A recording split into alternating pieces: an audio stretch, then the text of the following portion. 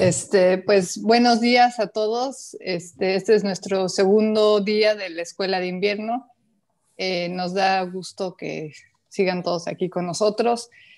Eh, esta mañana vamos a empezar con la plática del doctor Julián Bravo Castillero, es compañero de, de Limas. Este, agradecemos mucho su participación. Él es doctor en ciencias matemáticas por la Universidad de La Habana y se dedica a, pues, sus áreas de investigación son matemáticas aplicadas a problemas de la mecánica de medios heterogéneos. Entonces, este, le damos las gracias a Julián por haber este, aceptado participar en la escuela y le cedo la palabra. Okay, muchas gracias, Nuridia. Muy buenos días a todos. Muchas gracias por participar. Muchas gracias al comité organizador. Mis felicitaciones por la excelente organización.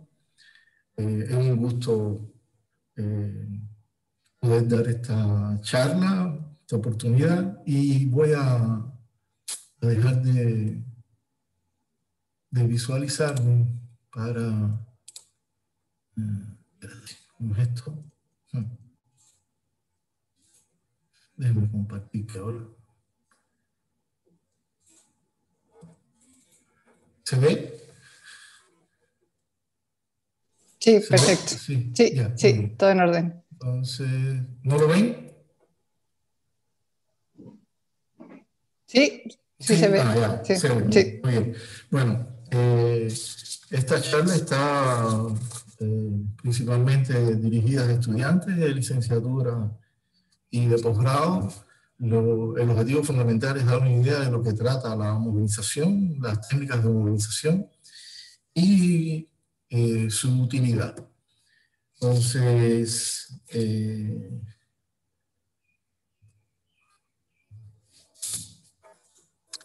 Los objetivos son precisamente ilustrar la importancia del modelado matemático de materiales compuestos, describir las ideas básicas de la movilización matemática, mostrar algunos resultados de estudiantes de licenciatura y posgrado en los últimos años, contribuir a colaboraciones con investigadores y estudiantes. Al final se van a comentar algunos temas de, de trabajo.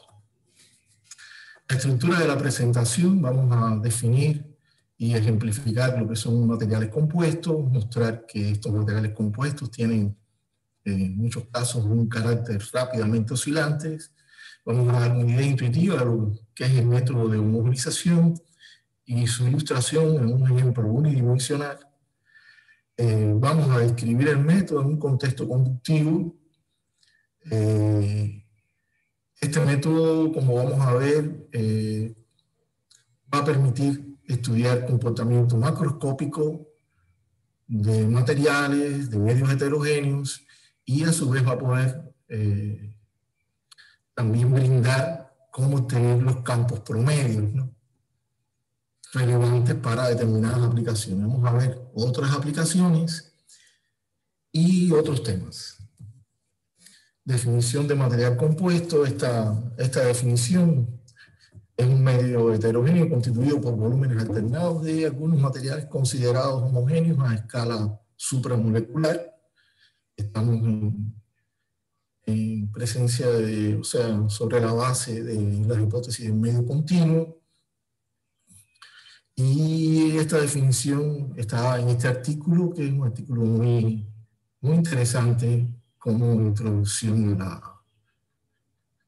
a las técnicas de homogenización y que aquí en rojo está señalado, por ejemplo, un número especial que se dedicó en noviembre de 2018 a la temática de materiales compuestos en la revista de Science.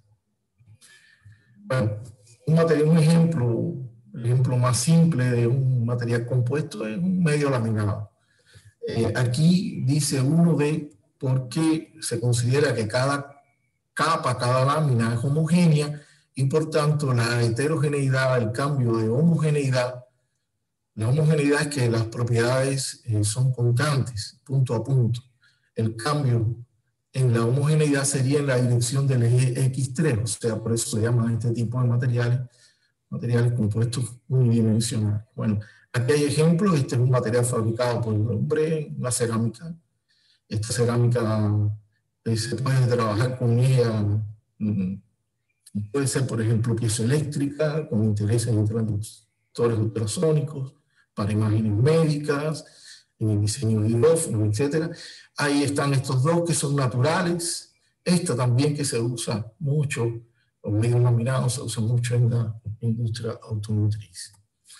Otro medio, en este caso bidimensional, son los llamados materiales compuestos reforzados por fibras. También aparecen en cerámica, en la industria automotriz, eh, la industria aeronáutica y también existen materiales eh, medios humanos, eh, naturales, que pueden ser modelados con compuestos reforzados por fibra, por ejemplo, hueso. Los llamados eh, o clasificados como materiales eh, compuestos tridimensionales, por ejemplo, aquí tenemos esferas en, un cierto material que puede ser una sustancia polimérica, aglutinante. Eh, y entre este tipo de materiales compuestos también las esferas podrían ser huecas, sería un medio poroso, y algunos ejemplos de este tipo serían, por ejemplo, también huesos, rocas, las eh, espumas metálicas, que son nuevos materiales que se usan eh, como filtros que combinan, por ejemplo, las propiedades del aluminio con las propiedades morfológicas de las esponjas. Entonces, carácter rápidamente oscilante. ¿Qué significa esto? Bueno, significa que en materiales heterogéneos, al movernos de un punto a otro, pudiéramos pasar de un hueco a un, a un material. Entonces, eh, carácter rápidamente oscilante de las propiedades precisamente está, está así. Vamos a ver más adelante que estos medios, desde el punto de vista matemático, se pueden modelar a través de ecuaciones cuyos coeficientes entonces tendrían, heredan esas propiedades del carácter rápidamente oscilante. Aquí arriba hay cerámicas usadas en, en aplicaciones a sensores y hidrófonos, eh, eh, transductores ultrasónicos para imágenes médicas, o también estas láminas, estas que están aquí abajo, que son huesos, que tienen su interés en el estudio de este tipo de medios, por ejemplo, en el estudio de la osteoporosis. Aquí hay, como vamos a ver más adelante, hay un hueso sano, de una persona sana, de una persona osteopénica, o sea, que está en una etapa intermedia, y una persona osteoporosa. Bueno, eh, desde el punto de vista macroscópico, por ejemplo, en el diseño de transductores ultrasónicos, eh, aparece en el corazón de del transductor, que es capaz de emitir y recibir, es un material piezoeléctrico, un material que es capaz de transformar eh, ante una presión mecánica genera un campo eléctrico o ante un campo eléctrico se deforma. Eh, por ejemplo, a la hora de diseñar un material compuesto para una determinada aplicación, es importante eh, conocer qué parámetros son relevantes. Por ejemplo, en este tipo de aplicación, dos parámetros relevantes son el K, que es el coeficiente de acoplamiento electromecánico o factor de acoplamiento electromecánico, y el Z, que es la impedancia acústica. Se desea que los materiales o las cerámicas piezoeléctricas que se usen tengan una baja impedancia acústica y a su vez un alto coeficiente de acoplamiento electromecánico. Para esto se combinan materiales que tienen, que tienen precisamente esas características. Pues en, esta figura, por ejemplo, la fibra es piezoeléctrica y se combina con eh, algunos materiales que son eh, poliméricos, estos que están acá y entonces aquí se ve, por ejemplo, que eh, de todos estos, de todas estas combinaciones, la que tiene un mayor coeficiente de acoplamiento electromecánico y una baja impedancia acústica es la línea sólida. Por tanto, de todos estos, este sería el medio, el material compuesto deseado para esta aplicación. Aquí, por ejemplo, a diferencia del anterior, lo que se hace es que se combinan diferentes geometrías para el mismo material que fue seleccionado anteriormente, bueno, vamos a ver ahora otras geometrías, un compuesto laminado, un compuesto fibroso con secciones transversales cuadradas de las fibras, eh, y aquí la sección transversal es la misma, pero la distribución periódica es diferente. En este caso es una distribución cuadrada en este es una distribución hexagonal.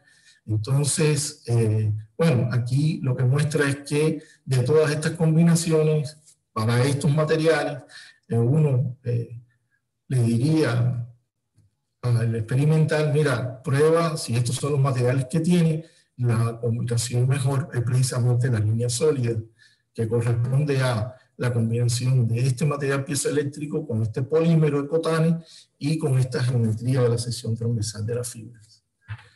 Otra aplicación, por ejemplo, es aplicaciones a hidrófonos. Aquí, por ejemplo, este producto de H por GH lo que implica es cuán buen receptor y cuán buen emisor es el medio, el material piezoeléctrico, por ejemplo, que se está modelando. Y entonces uno debería encontrar eh, fracciones volumétricas de, por ejemplo, las fibras para las cuales este producto sea máximo. Entonces, por ejemplo, en este caso, eh, estos dos con las fibras circulares y son los, y distintas eh, distribuciones periódicas son los más útiles en este tipo de aplicación. O sea que eh, en una aplicación, o sea, no existe el mejor material compuesto, sino pudiera existir un buen material compuesto para una determinada aplicación. Por ejemplo, en el estudio de sistemas de recolección de energía, recientemente eh, en este trabajo se demostró experimentalmente la ganancia de propiedades piezoeléctricas y piroeléctricas, o sea, con temperaturas en cerámicas de PZT, que eso es una aleación de plomo, circonio y titanato de bario, pero que estén perforadas por fibras porosas alineadas. Y su importancia en aplicaciones a sistemas de recolección de energía. En este tipo de trabajo, eh, en, en, este trabajo, los métodos que se utilizan son eh, métodos fenomenológicos realmente. Entonces, eh, aquí buscamos un método con características matemáticas que vamos a describir más adelante y eh, lo que se está mostrando o lo que se requiere aquí es materiales con altas propiedades piezoeléctricas y piroeléctricas y una baja propiedad eléctrica. Ya eso nos da la idea de la relación, negociación en tres parámetros o las llamadas figuras de mérito. Aquí abajo se ve, por ejemplo, aquí este sería una porción de la cerámica real y arriba se ve la idealización matemática que vamos a presentar. Entonces, por ejemplo, después de calcular las propiedades macroscópicas, uno puede obtener eh, curvas como la roja esta o los punticos azules que fueron calculados por dos métodos diferentes para calibración eh, de las reducciones analíticas que conducen a esta curva roja. Y se ve entonces que, por ejemplo, alrededor de, de 0.4 o 0.45% de la porosidad eh, esta figura de mérito es máxima, o sea que ya a la hora de la fabricación nos está indicando cuál eh, sería eh, la fracción volumétrica de la porosidad. En este trabajo, en este tipo de, en esta línea de investigación, está trabajando un estudiante de doctorado de la UNAM, su nombre es Rogelio Oscar Caballero Pérez, y él ha estado investigando, por ejemplo, para distintas secciones de los poros, cuál sería el comportamiento. Pero para esto también tuvo que usar métodos numéricos, para lo cual se basó en el método de elementos finitos usando este eh, software libre FreeFrame más más. Este trabajo, bueno, eh, está publicado en, este, en esta revista, eh, esta revista que es Archive of Applied Mechanics. Hay algunos resultados de su trabajo porque eh, lo que se quiere mostrar en esta figura es cómo la influencia de la geometría influye en el comportamiento macroscópico. Estas son propiedades piezoeléctricas macroscópicas, o sea que dependen de las características mm, de las características o de las propiedades tanto físicas como geométricas de los componentes del material compuesto. Entonces aquí se ve cómo, eh, eh, por ejemplo, como estos cuando, cuando es rectángulo, cuando tienen forma de diamante, etcétera, eh, los poros, como el comportamiento es diferente. O sea, la influencia de la morfología en el comportamiento macroscópico del material. Aquí también se ve eso, o sea, aquí también se ve, aquí se ve, aquí hay una comparación con resultados experimentales y lo teórico, y, y aquí se ve cómo en la medida, fíjense, este, esta línea roja que aparece, cambia de modelo, el modelo 2 es un medio laminado, y entonces cuando las fibras cuadradas eh, rectangulares eh, tienden a, a tocar los bordes de la cerda, se convierten prácticamente en un medio laminado y esto es una forma de calibración, o sea, cómo estas se van pegando a la línea roja.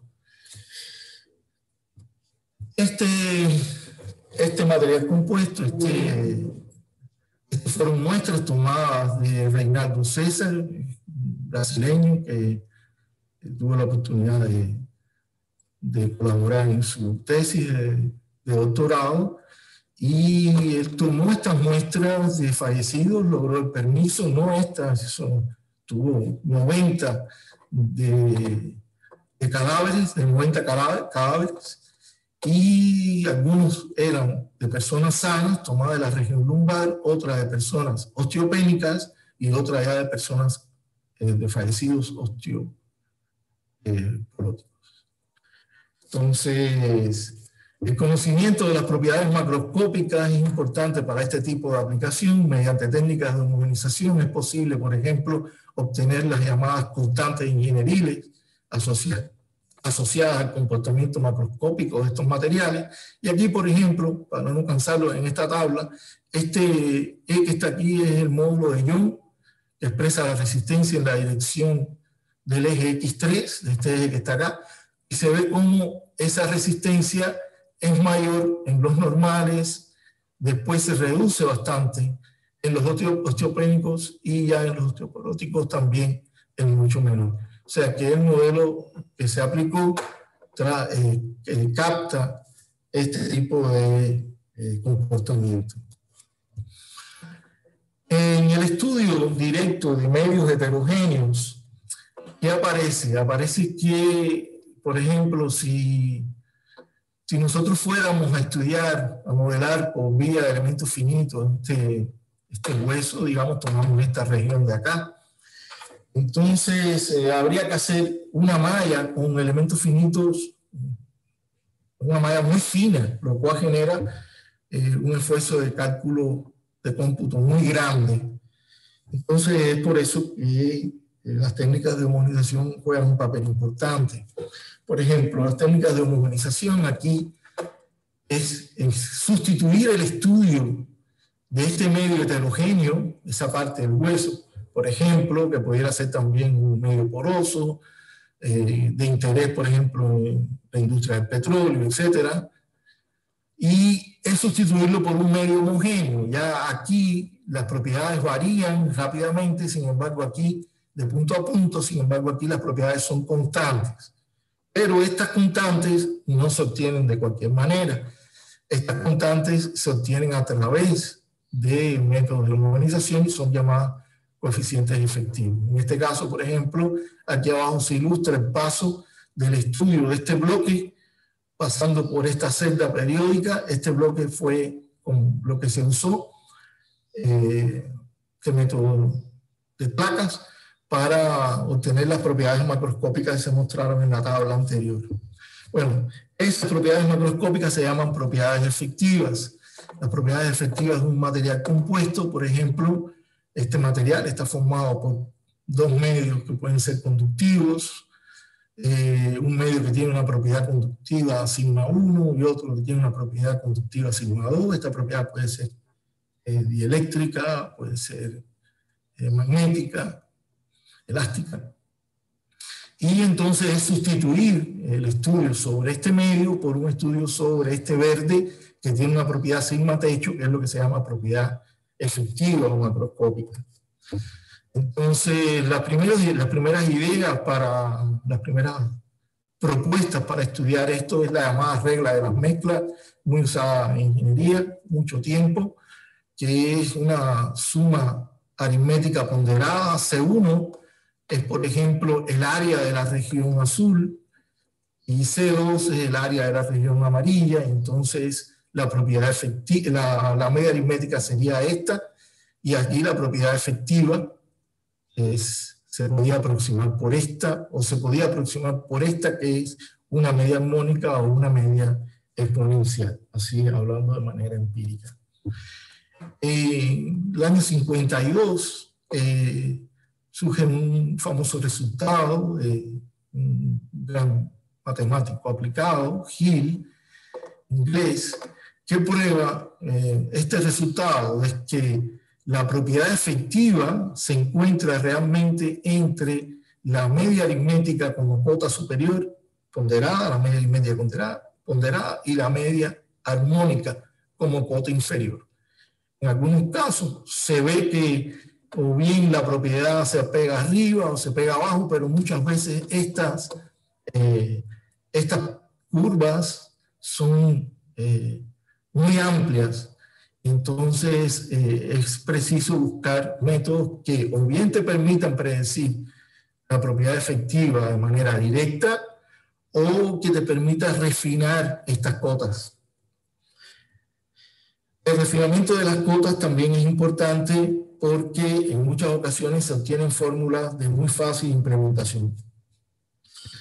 Bueno, un método, la idea de un método de movilización es, por ejemplo, es se puede considerar de esta manera como un paso al límite cuando epsilon, parámetro pequeño, que no es más que, por ejemplo, el cociente de dos magnitudes características, una característica de la celda periódica, que en este caso es esta, y otra característica del medio común todo, aparece un parámetro pequeño, y en el paso al límite, cuando ese parámetro pequeño va a cero, entonces uno pasa de un medio heterogéneo a un medio homogéneo.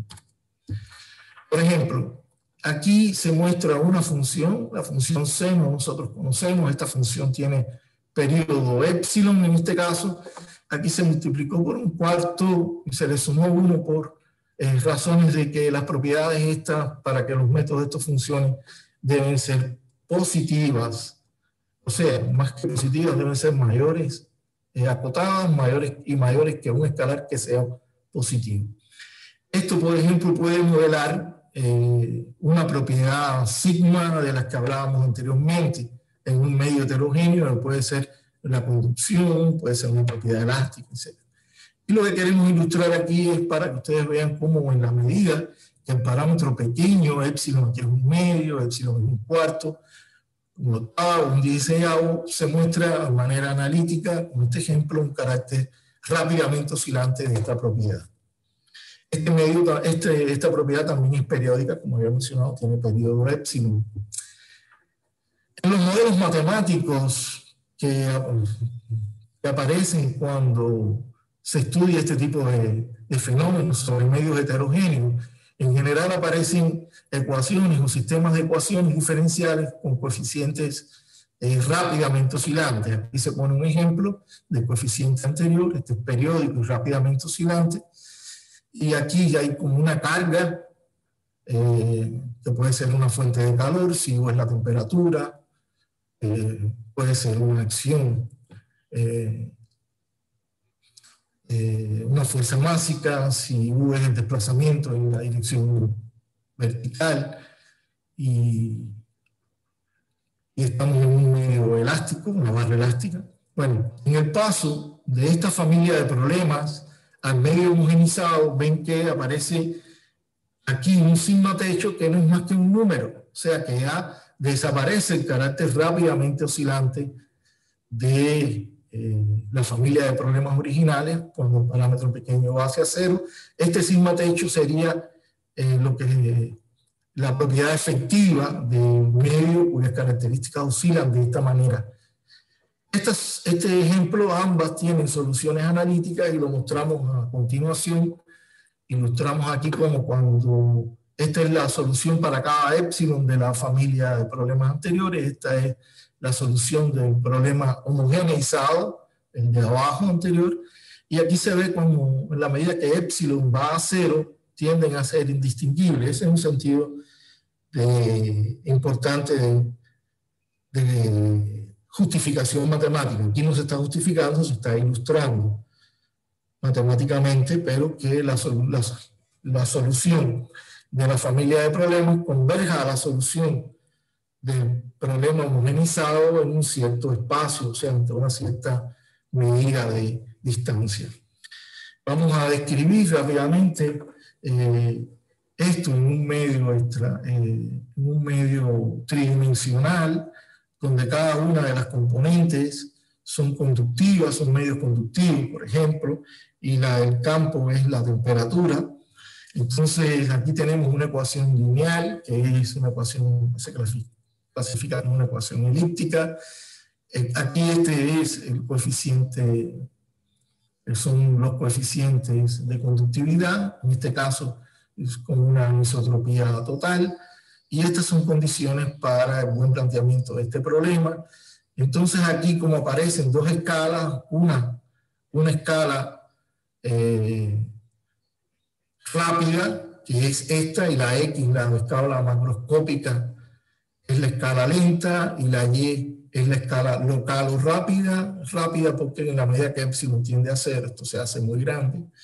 Entonces propone un, un método de, de perturbación y a través de una serie de pasos, etcétera, uno logra transformar la familia de problemas original, esta que está acá, en, este, en esta ecuación, es la llamada ecuación homogenizada con esta condición. O sea, en este problema se verifica a través de métodos muy eh, matemáticos eh, accesibles que, este, que se conservan las propiedades de simetría. Estoy hablando de que aquí es, cada una de las fases son simétricas y es definido positivo. Y sin embargo, aquí se demuestra que las propiedades efectivas de los hecho estos son simétricos también y también cumple la propiedad de definido positivo y se demuestra, por ejemplo, que en el espacio de las funciones de cuadrado integrable, eh, las funciones convergen en norma cuando epsilon tiende a cero. O sea, es menor o igual que raíz de epsilon por una constante. Esto es lo que le llaman la justificación matemática del método. Entonces, interesante en este tipo de problemas es cómo calcular las propiedades efectivas. Para calcular las propiedades efectivas, eh, aparece esta fórmula de manera natural también, donde esta sería la propiedad efectiva. Estos paréntesis angulares son símbolos de promedios, de integral sobre la celda periódica, uno sobre la medida de la celda periódica, el área, volumen, la longitud por la integral sobre la celda periódica. Estos son propiedades y esta n que está aquí son las llamadas funciones locales que deben ser obtenidas mediante la solución de eh, problemas que involucran a ecuaciones diferenciales parciales, en este caso en general. Aquí se quiere mostrar con esta figura la forma que tiene la matriz efectiva. Ella va a ser simétrica, entonces si uno resuelve, por ejemplo, para P igual a 1, los llamados problemas locales que vamos a mostrar a, continuación, entonces resolviendo lo de la primera columna eh, y resolviendo de manera independiente con otro sistema de ecuaciones la segunda, estos dos deben dar iguales. Igual que si resuelve esto, este el, 1-3 con el 3-1 deben dar iguales y son formas también de controlar los cálculos. Eh, la obtención de esta función local que aquí eh, hay que situar es solución de este tipo de ecuaciones. La diferencia con respecto al problema original es que ya aquí en medio, este, este es un problema sobre la celda periódica donde ya las propiedades no son rápidamente oscilantes y además este es un problema solo en la variable rápida. Entonces, en la técnica esta uno debería, ya una vez justificado el método, etcétera, uno debe entonces eh, resolver estos problemas, sustituir las soluciones aquí y obtener la matriz de propiedades efectivas. o macroscópicas en medio. Entonces, para resolver estos problemas locales, generalmente no puede ser por técnicas analíticas. Por ejemplo, aquí se muestra un ejemplo para fibras unidireccionales. Aquel modelo es válido para eh, cualquier tipo de heterogeneidad. Entonces, en particular, si lo que tenemos son fibras, entonces sería un, la celda periódica, sería, si fuera esta, y si cada una de las fases es isótropa, entonces el problema se descompone en resolver la ecuación de Laplace en la zona amarilla, resolver la ecuación de Laplace en la zona azul, bajo estas condiciones de continuidad de esta, este pseudo flujo que está acá, y estas condiciones de eh, discontinuidad del flujo, aquí hay un salto del flujo y este beta que está acá eh, sería una barrera térmica que cuando se adimensiona coincide con un número famoso que es el número de Biot en estos procesos térmicos. Este tipo de problema ha sido resuelto por varias formas, ha sido atacado por ejemplo de manera variacional, las técnicas variacionales son útiles para eh, obtener cotas variacionales y refinar las cotas eh, variacionales clásicas, que es la media aritmética y la media armónica. También se pueden resolver usando técnicas de elementos finitos, técnicas aproximadas, métodos numéricos en general, o en este caso de geometría circular se pueden aplicar técnicas de variable compleja y funciones elípticas. Aquí, por ejemplo, se dicen nuestras soluciones analíticas, se hace la propuesta, etcétera, un trabajo largo.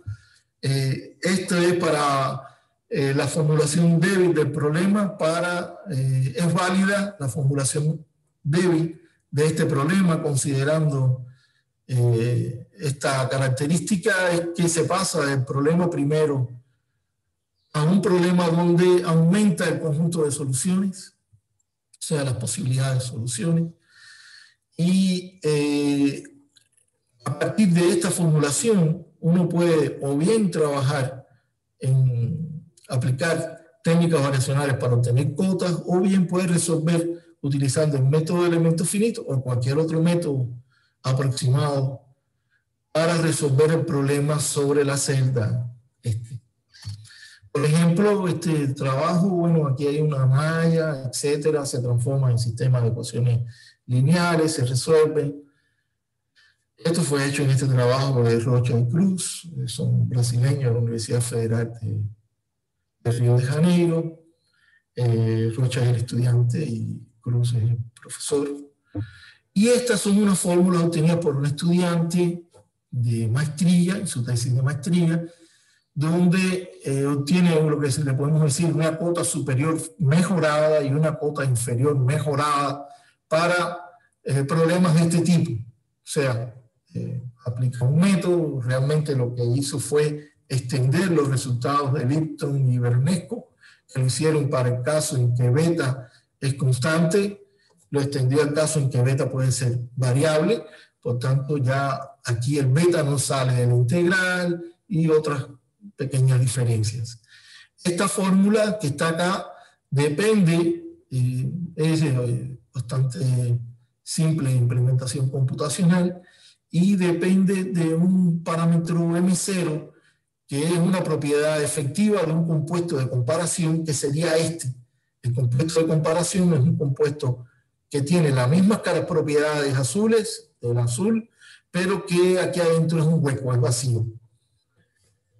Entonces, aquí están, hay dos fórmulas, para verla, vamos a ver algunos números donde se ve para diferentes valores de la barrera térmica o número de bio para una concentración de punto 3 eh, por ciento, aquí ocupado al punto 3%, considerando, por ejemplo, que el área completa de la unión del azul y amarillo es 1 unidades de área. Y aquí se ve cómo, eh, utilizando esa fórmula, lo cual es mucho más simple que si uno usa el método de elementos finitos, le tiene que pasar, le mucho más eh, dificultades para su implementación y ven que los números son bastante buenos, sobre todo lo de la cota inferior. ¿Por qué los de la cota inferior? Porque la cota inferior reúnen más información morfológica, mucho más que la cota superior. Y ahí se refleja también que el resultado de las cotas inferiores mejoradas sea mejor. Aquí es lo mismo que el anterior, pero ahora aumentando el volumen de, de fracción. Aquí lo que queremos ilustrar, no vamos a concentrarnos en las tablas, sino la posibilidad de eh, de tener celdas periódicas, o sea, otras distribuciones periódicas. Aquí no es un cuadrado, es un rectángulo un cierto ángulo teta. Si el ángulo teta es 30, uno puede obtener la, aquí dice, esto es cota inferior mejorada en ILB, y esto es comparado con la referencia 21, que es con soluciones analíticas. Y los resultados son. También se puede, considerando como eh, compuesto de comparación, cambiando el compuesto de comparación, por ejemplo, el compuesto de comparación si fuera este, en vez de un círculo fuera un cuadrado o un hueco, un hueco fuera cuadrado, uno pudiera usar esta fórmula que es una cota, aquí puede usar esta fórmula o la que se usaba anteriormente, y aquí si fuera un rombo puede usar esta fórmula. Estas fórmulas aparecen o fueron tomadas de este artículo. Y ahí se ve cómo uno se refleja la influencia de eh, cómo la, la, cota inferior capta la influencia de eh, la geometría de la sección transversal de la fibra. Aquí lo que se muestra, por ejemplo, es cuando eh, la barrera térmica varía a lo largo de la longitud del arco, en el caso bidimensional, y aquí, por ejemplo, cómo varía también a lo largo de, eh, de la esfera, en este caso es tridimensional, y aquí se ven cómo macroscópicamente se rompe la isotropía, o sea, cada una de las fases isótropa y sin embargo, eh, en un material isótropo, por ejemplo, las propiedades, eh, es como si fuera, uno puede imaginar una matriz diagonal con todos los elementos eh, de la diagonal iguales. Esa es la característica de los medios isótropos, pero aquí los sigma 1, sigma 2 y sigma 3 se rompe completamente la isotropía. Esa es una característica de las técnicas de, los resultados de homogenización, que el comportamiento macroscópico no es, en, general, no es el comportamiento de las fases. O sea, si las fases son isotropas, el comportamiento macroscópico puede ser anisótropo. Este, el objetivo de esta lámina es mostrar las eh, posibilidades de estas técnicas para estudiar compuestos no lineales, medios con propiedades o leyes constitutivas no lineales. Por ejemplo, la inclusión aquí es lineal. Eh, aquí en que vean cuadrático es lineal porque esto es energía, esta es la energía. Y, y aquí se tiene esta eh, energía de la matriz, una parte lineal y la parte no lineal, entonces, en lo que se ve a la izquierda son las, eh, las dos de afuera, esta sería la cota superior clásica y la cota inferior clásica, ven que es muy amplia para esta energía efectiva. Aquí lo que se está modelando es la energía efectiva del compuesto entre normalizada por la energía de la matriz. Aquí se, hay un refinamiento que es utilizando unas cotas que propuso un inglés eh, matemático Talbot, David Talbot, pero y la de abajo es la cota de Ponte Castañeda, también matemático aplicado, pero como ellos tienen que usar en estas técnicas como en la otra un compuesto de comparación y usar una predicción de un compuesto de comparación que sería el M0 anterior, en este caso las cotas que se colocaron fueron, la predicción del compuesto de comparación fueron unas cotas muy finas de Bruno, un trabajo también del año 91, y entonces a la derecha lo que se ve es que en lugar de usar estas cotas de Bruno, nosotros vamos a usar una predicción más directa, no cotas, y, y sin embargo eh, la, hay un refinamiento de las cotas tal que prácticamente uno pudiera escoger o bien la cota superior como la cota inferior como la predicción. Ese es el objetivo de esta lámina, o sea, mostrar, eh, la, por un lado, la importancia también de estas técnicas para fenómenos, investigación de fenómenos no lineales y la importancia de tener eh, una buena, una, una predicción más, menos inexacta de, con mayor información del compuesto de comparación. Eso fue. Otros problemas, bueno, aquí lo que le queremos mostrar es, esta es una ecuación, una familia de ecuaciones diferenciales, muy parecida a la primera que vimos, donde se ilustró el ejemplo aquel eh, inicial, pero aquí lo que se tiene es que aparecen dos escalas. La función no solo depende de y, sino depende de un z también, que a su vez es y sobre épsilon. Épsilon es el parámetro pequeño, aparece un número finito de discontinuidades finitas, y estas condiciones de continuidad y estas condiciones de tipo Dirichlet en los extremos del 0,1, que es el medio que se está investigando, mediante un proceso de homogenización que le vamos a llamar homogenización reiterada, se llega a, este, eh, a esta ecuación homogeneizada, donde este A hecho es la propiedad efectiva y se justifica que converge a cero en L2, o sea, en, la distancia de en el espacio de las funciones de cuadrado integrado. Entonces aquí, eh, bueno, este, este es un estudiante, estos son mm, resultados de en su trabajo de licenciatura, un estudiante de la Facultad de Matemáticas de la Universidad de La Habana, Fran Ernesto Álvarez actualmente estudia doctorado en una universidad francesa. Él hizo este trabajo también, esto es una idea de cómo la solución discontinua de la familia de problemas originales se va aproximando, azul, se va aproximando cuando el parámetro pequeño tiende a cero de manera discontinua a eh, a la solución del problema exacto. Esto es una ilustración. Eh, otro, otro resultado interesante aquí eh, es que este K, K este que está acá, esto muestra el cociente de dos propiedades. En el numerador va una propiedad efectiva del medio considerado con dos escalas dos escalas microestructurales, y en el denominador va la propiedad efectiva del mismo medio, pero considerando una sola escala.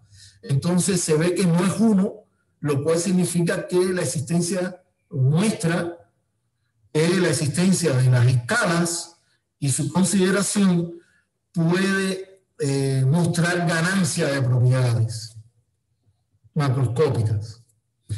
Estas ideas están siendo eh, trabajadas en problemas tridimensionales que tienen que ver con ganancia de propiedades en nanofluidos. El estudiante que está desarrollando este trabajo se llama Ernesto Iglesias Rodríguez, del de, eh, programa de, doctorado en Ciencias Matemáticas de la UNAM. Eh, aquí abajo este, esta es una técnica útil en procesos de escalas múltiples, por ejemplo, en mecánica de huesos, eh, los huesos tienen varias escalas microestructurales. Estas ideas que hemos estado comentando para el caso de un medio conductivo pueden ser extendidas a problemas eh, más generales donde en lugar de, un, de una matriz acá eh, de 2 por 2 puede ser una matriz de 5 por 5, donde U en lugar de ser una función que toma valores reales, sea una función vectorial y el campo este F también sea vectorial. Esto puede ser aplicado a problemas con una, dos o tres dimensiones de heterogeneidad. En este tipo de problemas, por ejemplo, también está, que está trabajando Rogelio, eh, lo que queremos mostrar aquí es que este K es una propiedad eh, que refleja el contacto imperfecto entre estas láminas, un contacto que se genera de manera natural. Eh, aquí hay una propiedad que se obtiene que depende de ese contacto. Eh, bueno, entre resultados bonitos que se han obtenido acá es una sucesión de una cadena de igualdades entre las propiedades macroscópicas.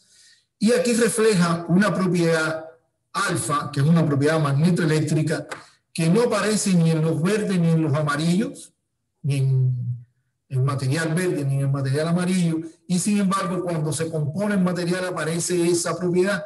Eso es, son efectos importantes que se logran a través de eh, la combinación de materiales con diferentes propiedades, aparecen nuevas propiedades que no están en ninguno de los materiales presentes. Estas propiedades pueden ser piroeléctricas, pueden ser magnetoeléctricas, pueden ser eh, piromagnéticas, por ejemplo. También es de interés el estudio de este tipo de problemas este, cuando eh, tiene propiedades eh, complejas, la función esta tiene partes reales e imaginarias, entonces, este tipo de problemas eh, puede ser trabajado también y es de interés. Se ha mostrado también ganancia de propiedades y de interés en varias aplicaciones. Este es un trabajo que eh, publicó este estudiante de maestría del programa de Ciencias Matemáticas del UNAM, que lo trabajó para problemas, eh, una distribución periódica hexagonal. Este tipo de medios, son de interés, por ejemplo, en, investigaciones acústicas y aquí se ven también ganancias de propiedades, que se le llaman también a estas, a estas ganancias, se le llama, eh, que son metamateriales, se le llama así también. Bueno, eh, aquí vemos eh, algunos trabajos, vamos a hablar de algunos temas que son, pueden ser de interés. Hemos estado eh, trabajando, por ejemplo, en modelado de materiales compuestos para la calibración para la calibración de equipos de ultrasonido. Ahí se unió una, eh, varias instituciones y ya se ha logrado eh, colocar un, un, resumen, un evento que se suspendió en, para el año que viene, va a ser en el año 2021. Este evento es un evento importante desde el punto de vista de mecánica, se celebra cada cuatro años, tanto desde el punto de vista teórico como aplicado. Y aquí lo que se hace es tratar de eh, buscar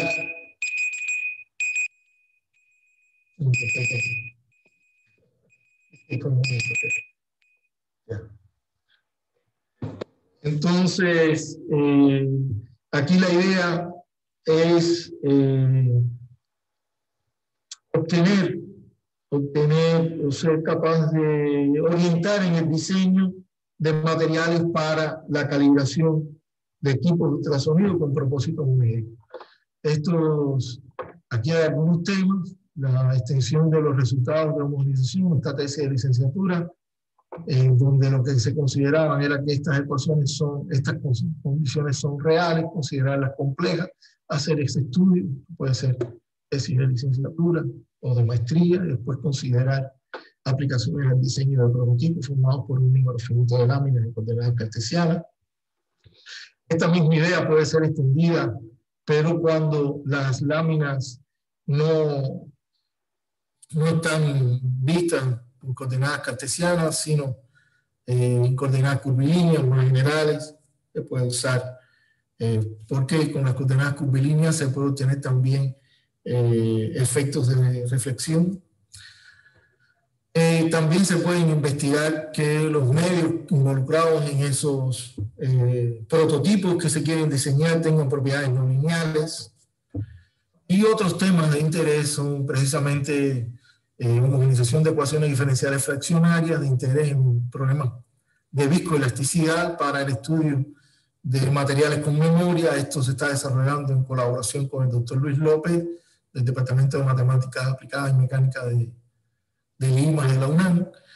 Cálculo de propiedades de estructuras dependientes de varias escalas microestructurales. Aquí hay colaboración y estudiantes trabajando y esto es colaboración en mecánica de huesos para, con el doctor Reinaldo César de la Universidad de Sao Paulo y con el doctor Manuel Cruz de la Universidad Federal de Río de Janeiro en aplicaciones a nanofluidos. Eh, la modelación de la dispersión de contaminantes en la atmósfera, en este tema tenemos también una tesis eh, de licenciatura que sirve como base y, otros trabajos que se han estado desarrollando. La tesis es mm, Israel Sánchez con el Leslie Pérez de la Universidad Federal de Pelotas también de Brasil. Un problema que, en el cual la, doctora Maricarmen Jorge, Jorge tiene mucha experiencia y resultados importantes. Estamos trabajando en la construcción de una asintótica del problema para recuperar el campo gravitacional externo de la Tierra a partir de las mediciones de intensidad en la superficie terrestre. Esto es un problema interesante donde también la aplicación de métodos numéricos nos puede ayudar a, a tener una idea de que la asintótica que se está proponiendo es correcta. Y también se ha estado trabajando con colegas de la ENES, colegas de, de de la sede médica, de la sede médica, eh, colegas de la Universidad de La Habana, en el modelado de la evolución del COVID. Desde marzo hay un sitio en donde se reporta semanalmente, a partir de diferentes métodos matemáticos, cómo es la evolución del COVID, en particular en el estado de Yucatán la idea que quería mostrar. Agradezco mucho por su atención. Muchas gracias. Muchas gracias, Julián, por tu plática. Es muy, muy interesante y, todas, las, todas las aplicaciones que tiene pues, estas, estas estrategias de, de homogeneiz, homogeneis, homogeneis, homogeneización matemática. Este, Tengo por aquí una, una pregunta este, de Gibran Criollo. Dice, al trabajar con tejidos como tendones y o músculos y pasarlos por el proceso de homogeneización, ¿cree que se pierdan las propiedades de tan, tensegridad del tejido en la descripción matemática? Sí, de hecho hay aplicaciones a tejido por vía homogeneización. Por ejemplo, eh, por ejemplo, cuando se consideran que, las propiedades de las fases tienen, eh, son complejas, no son reales, entonces eh, ahí se han aplicado a, a, la investigación de tejidos biológicos. Es una aproximación, no es, eh, como todo modelo matemático, lo que puede dar, lo que da son ideas eh, para poder trabajar, para poder eh, diseñar guías para el experimentador, pero sí aparecen en tejidos, tanto textiles como tejidos eh, suaves biológicos. Se pueden aplicar. Y se han aplicado. De hecho, uno de los temas de trabajo que está trabajando el estudiante David Yáñez es también con vistas a aplicaciones de este tipo. Ah, muchas gracias. No sé si haya alguna otra pregunta por aquí, por el chat.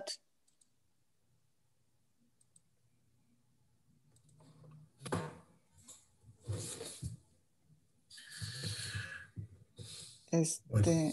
Aquí hay otra pregunta del mismo Gibran. ¿Qué tan conveniente es el uso de cálculo tensorial para la modelación de tejidos?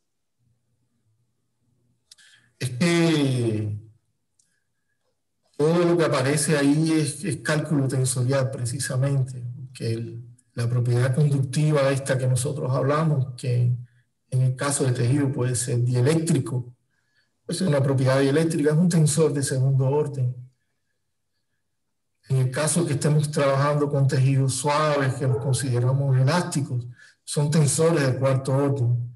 La mecánica de, del medio continuo eh, se trabaja sobre la base de tensores, desde el punto de vista matemático.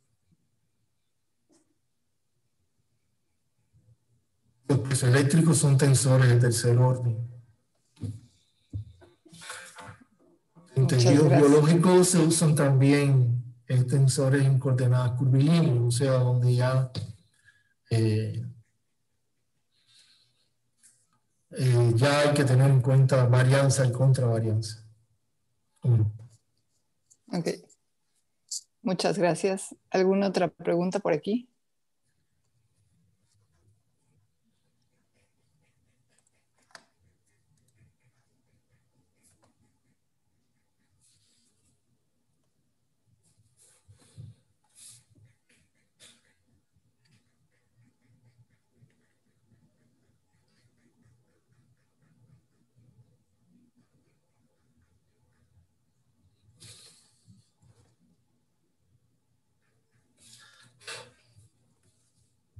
Y esto, este, esto se puede aplicar, por ejemplo, a problemas de, de típicos problemas de, de, cálculo variacional donde hay este, optimización de, de, formas. Por ejemplo, un problema típico sería el de superficies mínimas en burbujas de jabón. Está de alguna manera relacionada y, o se puede utilizar como estas técnicas de homogenización para como crear materiales este, con esta como idea de, superficies mínimas o no, tiene nada que ver? Bueno, eh, ese, ese tipo de, investigación se pudiera, se pudiera, pienso, no, no había pensado antes en eso, que se pudiera modelar como un medio cuyas propiedades eh, no solo son rápidamente eh, oscilantes, sino que varían con, con el tiempo también. Y ya eh, el, el, estudio de esas propiedades, si uno quiere, por ejemplo, obtener eh, comportamiento macroscópico del, del medio, pudiera tratar de buscar por vías variacionales, buscar cotas superiores, inferiores. Si uno lo que, lo que está interesado en ver el comportamiento de los campos y tener una idea de este comportamiento, lo pudiera hacer también eh, mediante técnicas de homogenización, incluso no necesariamente periódicas, pudiera usar un, método de dos espacios donde el parámetro pequeño no tiene que ser un parámetro relacionado con la periodicidad del medio, sino otro parámetro a encontrar yo pienso que se pudiera pensar en ese problema realmente. interesante. Gracias. Pues si no hay más preguntas, este, comentarios, podemos este, seguir con este, la siguiente charla. Muchísimas gracias, Julián, por tu plática. muchas gracias a ustedes, muchas gracias. Gracias a todos los participantes, gracias al comité organizador. Amable.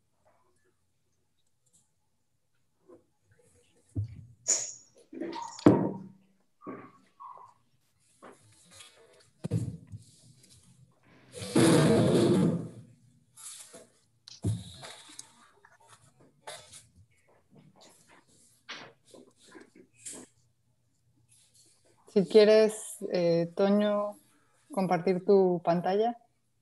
¿No la ven? Hola, hola, buenos días. ¿No se buenos días. Todavía no. Ay, dame un segundo. Un segundo. A ver, perdón.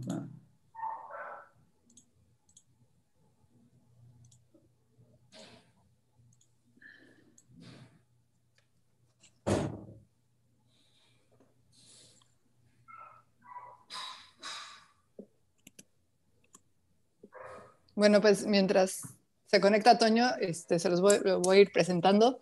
Es este, el doctor Antonio Neme, es doctor en computación por la UNAM, fue profesor investigador de la Universidad Autónoma de la Ciudad de México, fue investigador asociado y profesor adjunto de neurociencia computacional en la Universidad del Este de Finlandia y trabaja actualmente como investigador en el IMAS este, de la UNAM, Campus Yucatán eh, sus áreas de interés son análisis exploratorio de datos, detección de anomalías, aprendizaje computacional, bioinformática y visualización de datos multidimensionales.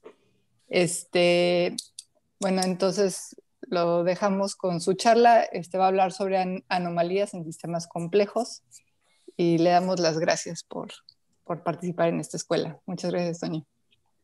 Hola, muy buenos días a todos. Eh, eh, bueno, quiero empezar por, por agradecer a los organizadores eh, de, de, esta escuela de invierno por, por, su gentil invitación. Y bueno, después quiero agradecer a todos los que están aquí. Eh, eh, muchas, muchas gracias. Entonces, este, bueno, pues yo, yo gracias también por la amable introducción, Yuri. yo voy a hablarles de anomalías, básicamente de detección de, de anomalías. Y este, pues de eso, de les voy a hablar de detección de anomalías en general, eh, de, qué son las anomalías, cómo detectarlas, dónde surgen las anomalías. Y este, voy, a, al final voy a hacer un poco de anuncios, pero eh, pues este, vean el, bichito que se ve ahí en, pantalla, no sé si lo alcancen a ver, ese bichito, ese bichito se llama Anomalocaris y voy a hablar un poquito de él hacia el final, de hecho en la, penúltima diapositiva, eh, porque es un bicho, se llama Anomalocaris, que quiere decir un, cangrejo eh, anormal, un cangrejo, un cangrejo, eh, digo, un camarón eh, anormal, un camarón inusual, y les voy a platicar un poco más de eso y de un proyecto que no tiene que ver con el anormal localis, pero así se llama, hacia el final. Entonces, bueno, de lo que les voy a hablar hoy es de esto, que son las anomalías, dónde se presentan las, las anomalías, algunas ideas generales de cómo detectarlas. En el taller de al rato, a, voy a los, los talleristas tendrán la oportunidad de, ponerse a programar sobre algunos de los métodos que aquí simplemente voy a bosquejar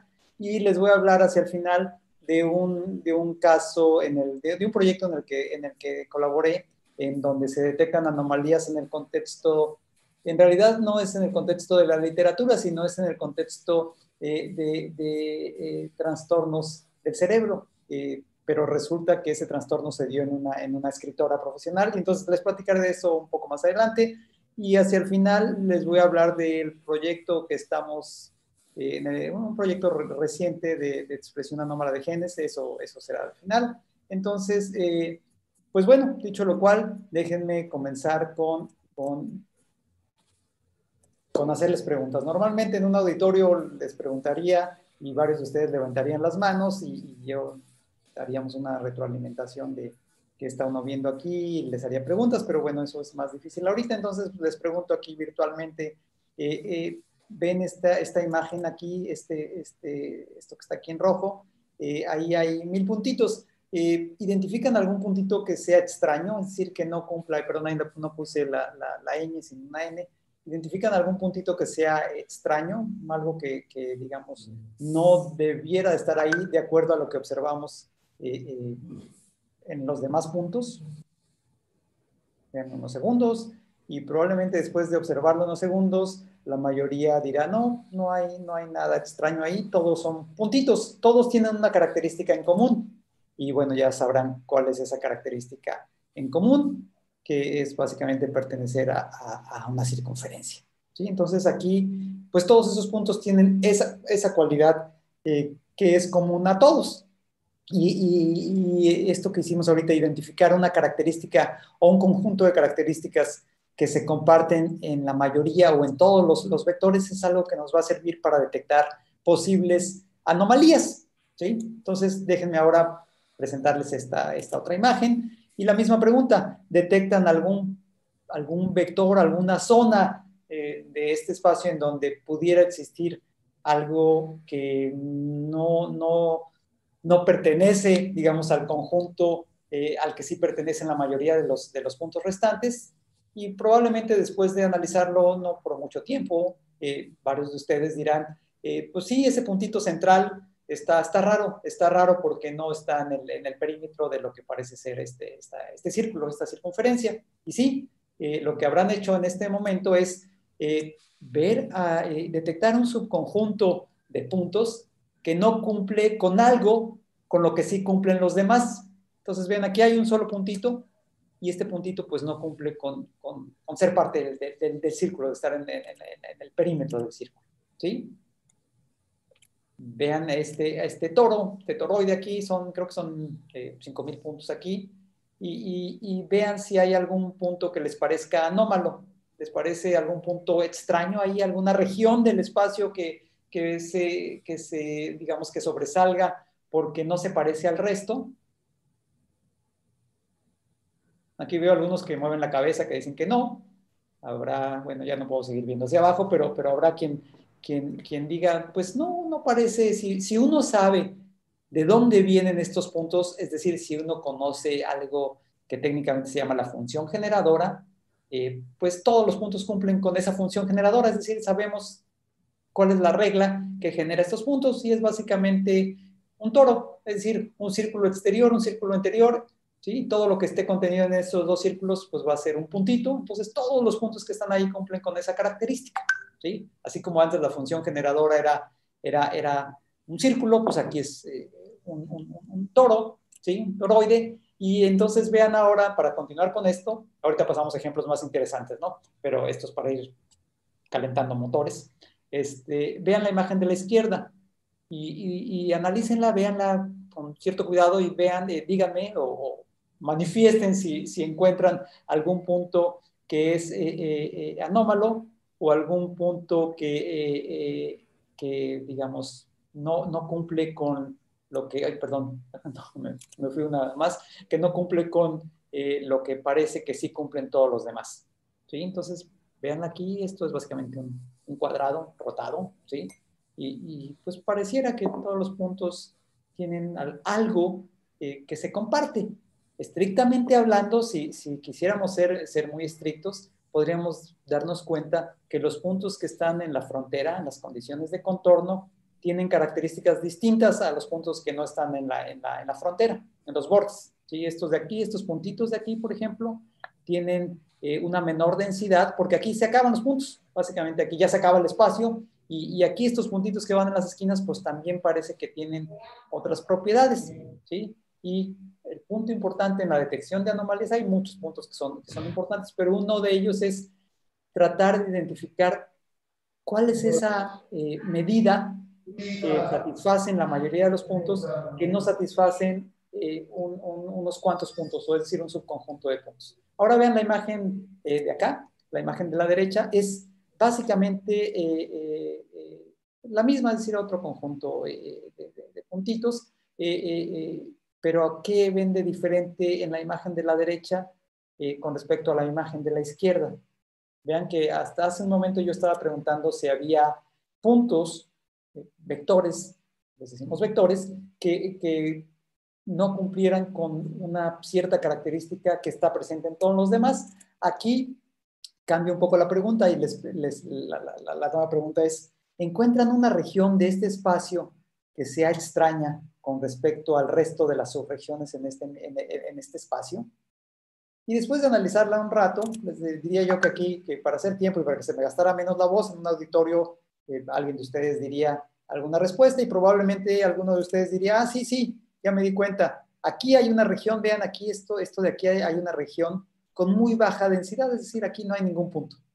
¿sí? Esta región, esta región sería una región anómala. ¿Por qué? Porque esta región, comparada, por ejemplo, con esta región que estoy viendo acá, o con esta región que estoy viendo acá, o con esta otra, eh, pues está, digamos, eh, eh, es carente de, puntos, ¿no? La densidad de los puntos ahí, pues, pues eh, es, cercana a cero. Y entonces esa, esa característica eh, haría que, bueno, pudiéramos decir que en esta región tenemos una anomalía, una anomalía con respecto, y eso es importante, una anomalía con respecto a qué? Con respecto a lo que observamos en el resto de los puntos. Entonces, lo que, lo que he estado haciendo hasta ahorita y que voy a hacer también en la diapositiva siguiente es pedirles que vean eh, los puntitos que se ven, que se, muestran aquí en dos dimensiones, que traten de identificar qué característica hay en común en esos puntos y al mismo tiempo traten de identificar qué puntos, eh, digamos, no cumplen con esa característica en común. Eh, vean acá esta, esta otra imagen y traten de responder la misma pregunta. ¿Hay algún, algún punto que consideran, esta es una imagen más interesante que las anteriores, ¿hay algún punto que consideren, digamos, eh, eh, anómalo o alguna región o algún subconjunto de puntos que consideren, eh, digamos, posible anomalía. Ven que ni siquiera he definido qué es una anomalía y, de hecho no voy a dar ninguna definición, digamos, explícita de anomalía. Es básicamente hay que seguir un camino, digamos, socrático para que ustedes vean a, lo que intento referirme por, por anomalía. Entonces, ¿Alguna idea aquí? ¿Alguien que quiera decir, ah, sí, aquí ya encontré una anomalía o, no? Vean básicamente lo que dice pues aquí. Adelante, por favor. Alguien iba a decir algo. por ejemplo, bueno, se ve de cierta forma desordenado, pero hay un grupo que forma algo parecido como una circunferencia, que es como ese circulito, pero en una parte se ven muchos puntos juntos. Entonces yo interpretaría eso como una anomalía que es en la parte superior izquierda. Eh, esa, esa región de ahí, esa, esa se ve como muy gruesa en comparación de los otros puntos que hacen parecer un círculo. Muy bien, gracias. ¿Quién dijo eso? yo, Fernanda.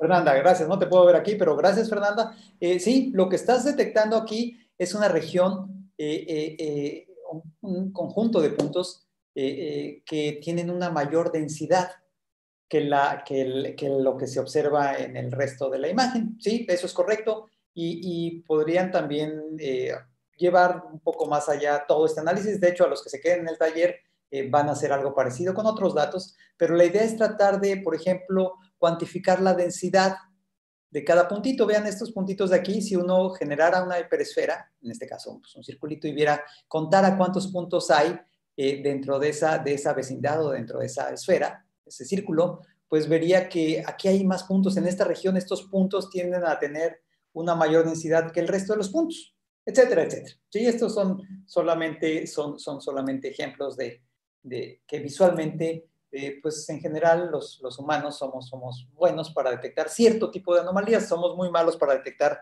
eh, otro tipo de anomalías, en realidad las anomalías interesantes, pero bueno, pues, visualmente ayuda el, tener una representación bidimensional e identificar regiones que pudieran ser, eh, digamos, peculiares, extrañas, anómalas, en inglés es una anomaly o un outlier, yo les, suelo decir, digamos, anomalías, ¿no? Y, bueno, pues eso eh, pudiera ser. Alguien más podría, podría sugerir que estos dos son algunas anomalías y alguien más podría decir, todos estos, estos puntitos que están aquí son una anomalía, o todos estos puntitos aquí son una, anomalía, o todos estos puntitos de acá son una anomalía. Y bueno, eh, existen muchas formas de detectar anomalías, ahorita voy a mencionar brevemente algunas, y bajo eh, cada forma, bajo cada algoritmo, eh, vamos a obtener resultados que pueden discrepar. Los supuestos que hacemos en cada forma de detectar estos puntitos que son extraños, eh, pues varían y con ello pues los resultados varían. Pero bueno, no me adelanto y déjenme, eh, ya, esta es la última, no es cierto, bueno, todavía vienen algunos otros ejemplos de, anomalías, pero más interesantes creo. esta, esta de aquí, supongan ustedes que tiene una secuencia de puntitos, ven aquí hay cuatro puntitos, luego hay eh, un cierto tiempo y luego aparecen dos puntitos y luego pasa un cierto tiempo y luego aparecen cuatro puntitos y luego pasa un cierto tiempo y aparecen dos puntitos, etcétera, etcétera. Esto se repite, se repite mucho y digamos, eh, ya con base en esas observaciones, ya con base en ese conjunto que les sirvió a ustedes para eh, detectar, para inferir una cierta propiedad, un cierto patrón en esta estructura, pues eso les podría servir, eso que identificaron ahí les podría eh, servir para identificar que esta secuencia, vean esta secuencia de aquí en donde aparecen dos puntitos y luego aparecen cuatro puntitos, pero ya no hay el espacio que antes aparecía, sino aquí aparece un cierto, un, cierto punto, pues este puntito de aquí no cumple con lo que habíamos visto antes y entonces por eso lo pinté de rojo, porque ese puntito podría ser una posible eh, anomalía. ¿Sí? Entonces, básicamente eh, lo que he mostrado hasta ahorita es eh, diferentes imágenes en donde en cada una de ellas hay, digamos, puntos, eh, la mayoría de los cuales parece cumplir con una cierta característica y hay algunos puntitos que no cumplen con esa característica. El punto importante es que uno casi nunca sabe de cómo se generaron esos puntos. Esos puntos pueden ser observaciones, ahorita van a ver casos más, más específicos, esos puntos pueden ser observaciones eh, multidimensionales, es decir, eh, de muchas más dimensiones que dos, en donde cada observación, cada objeto, cada, cada estructura se describe eh, con muchos rasgos y entonces pues eso hace las cosas más interesantes. déjenme plantearles esta pregunta. Vean, tómense el siguiente, los siguientes segundos para ver estas pinturas. ¿Sí? Vean, vean estas pinturas y díganme, por favor, en 20 segundos, a partir de que termine esta frase, cuál es la pintura que no corresponde al mismo artista. ¿Sí? Véanlas con cuidado, son, son, son siete.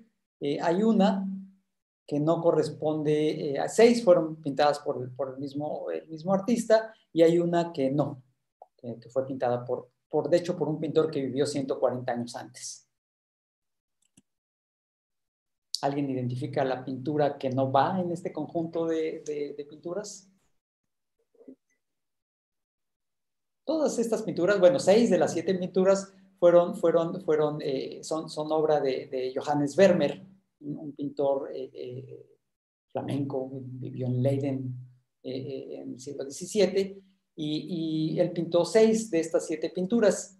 ¿Y cuál es la pintura que no pintó? Y sobre todo, lo más importante es cómo le hicieron o cómo le harían para saber cuál fue la pintura que, Vermeer no, no, no creó. ¿Alguien tiene alguna respuesta?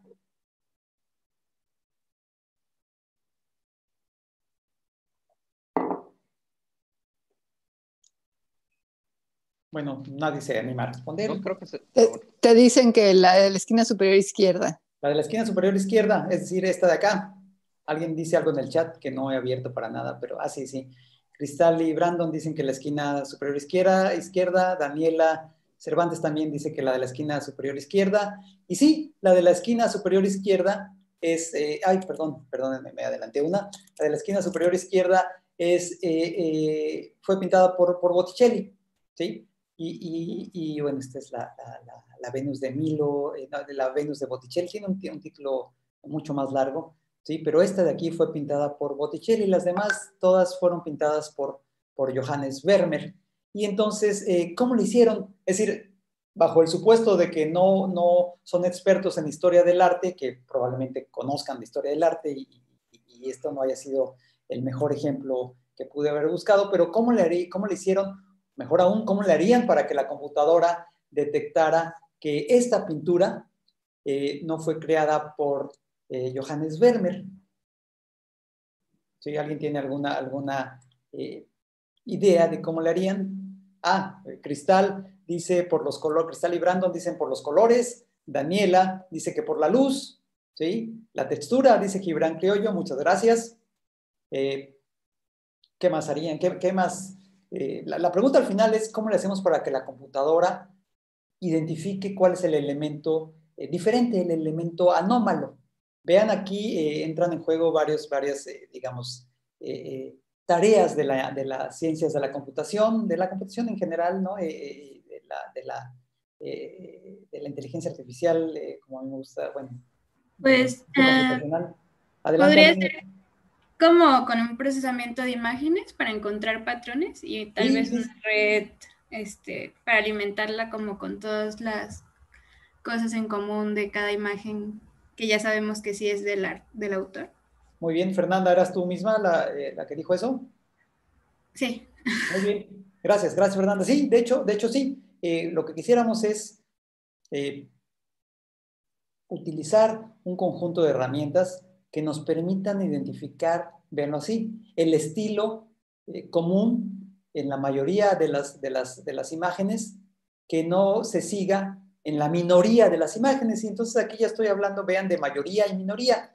Eso es un, un, aspecto importante en una anomalía. Una anomalía en general es un evento poco frecuente, poco frecuente y como tal, pues, pues eh, eh, digamos, es, es un, un, una situación difícil para las técnicas tradicionales de, de, reconocimiento de patrones y de clasificación. Ahorita platico brevemente por qué. Pero bien, gracias por, por sus respuestas a todos. Eh, y sí, lo que necesitamos es, digamos, procesar de alguna manera estas imágenes, cuantificar, eh, digamos, eh, ciertos elementos que podrían ser a nivel, digamos, de, de, los canales RGB, es decir, el componente rojo, verde y azul, ahorita van a ver un poquito más de eso, o tratar de, de, aproximar una función de textura o de, dispersión de la luz, o eh, si, si, quieren hacer cosas más a nivel semántico, la expresión de los rostros donde los haya, o si quieren hacerlo todavía un poco más, más eh, digamos, eh, interesante, encontrar ciertos patrones ocultos, ¿no? Hay, hay, bueno, hay, hay toda una rama de, las aplicaciones de cómputo en este tipo de, de digamos, imágenes en el arte en general, en donde por medio de reconocimiento de patrones se intenta escudriñar aspectos o detectar aspectos que a los especialistas se les haya pasado de largo y uno diría, no, pero ¿cómo es posible si hay especialistas estudiando estas imágenes desde hace 300, 400, en algunos casos 500 años? Y, de hecho hay un congreso eh, eh, anual, un congreso anual en donde se, se presentan resultados de este tipo de, análisis. Pero bueno, no me, no me, detengo en eso, que por sí mismo es muy interesante. Y entonces, eh, ahora déjenme preguntarles otra vez de nuevo a todos ustedes, ¿Creen que esta imagen, esta pintura, la haya creado Vermeer o no?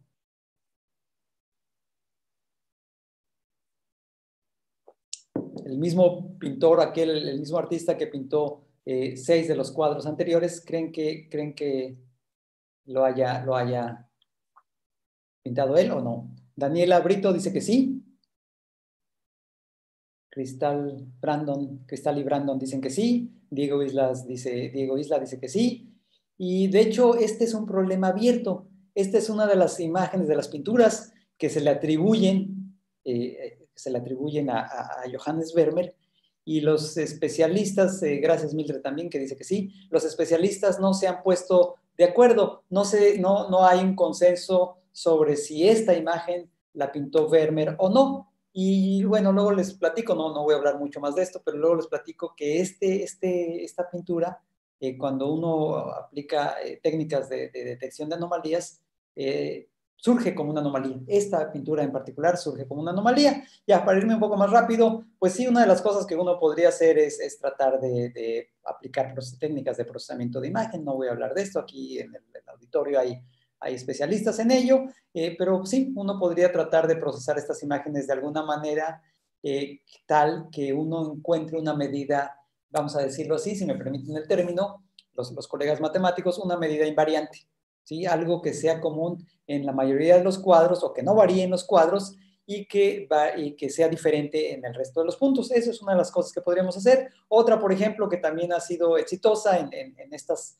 eh, líneas de, atribución de la autoría, básicamente eh, saber si, si una pintura una, obra de arte o en general un, objeto fue creado por alguien siguiendo un cierto estilo, no. Una de las cosas que se han hecho es tratar de comprimir la imagen, ¿sí? Imagínense que ustedes meten esto al GZIP, ¿sí? Esta imagen que es el, astrónomo de Johannes Vermeer y que hay quien dice que ese que ven ahí pintado es Christian Huygens, un, físico, bueno, ahora le diríamos físico, ¿no? En ese tiempo era un naturalista, eh, fue el modelo de, de, Vermeer. Entonces, eh, lo, que, lo que, una de las maneras de, saber si el estilo es más o menos el mismo, pues imagínense que comprimen, utilizan el GZIP o, cualquier técnica de compresión de, archivos o una técnica más especializada para imágenes y ven qué tanto se comprime la imagen. digamos, hacen, hacen diferentes eh, experimentos, van comprimiendo la imagen, van comprimiendo la imagen